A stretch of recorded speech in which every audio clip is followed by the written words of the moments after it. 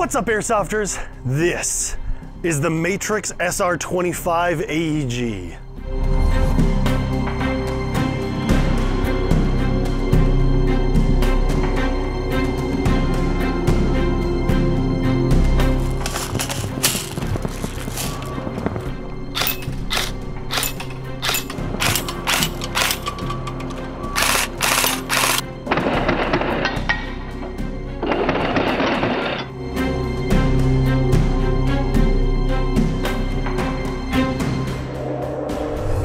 The SR25 is a classic when it comes to larger caliber style AEGs. This one features a full metal upper and lower receiver, as well as a full metal handguard with Picatinny rails on the 3, 6, and 9, as well as a full length top rail, giving you plenty of room for accessories.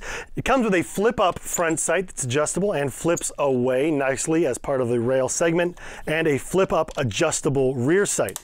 In the back, we also have a polycarbonate rear stock. This is an a1 style stock with QD sling mount points on either side. Your battery compartment is also here in the rear and can be accessed through the rear of the stock by pulling down on that lever there. You've got a ton of capacity for battery storage as well.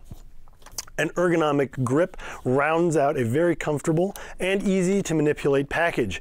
Up front, we've got some included accessories like the vertical grip that can be positioned anywhere along the rail, as well as a really cool mock suppressor. This fits over the barrel extension, presses down over the uh, slots there and locks conveniently into place like so, completing the look of this SR25. And because it's QD, you can always remove it, uh, lose a little bit of that length if you're in a shorter compact uh, engagement and have a really cool looking rifle. Internally, this bad boy uses a somewhat standardized version 2, although it's been elongated to fit the extra magazine size. So while it uses a standard version 2 or M4 style hop-up unit, which can be accessed by pulling back the charging handle, you'll notice the gearbox has been extended. Now, while it is compatible with many version 2, version 3 parts, there are some specific to the SR25, like your gear set, piston, cylinder, and nozzles. To find out even more information about this awesome looking Matrix SR25 in both black and tan and its polymer variant, make sure you check it out right here at evike.com.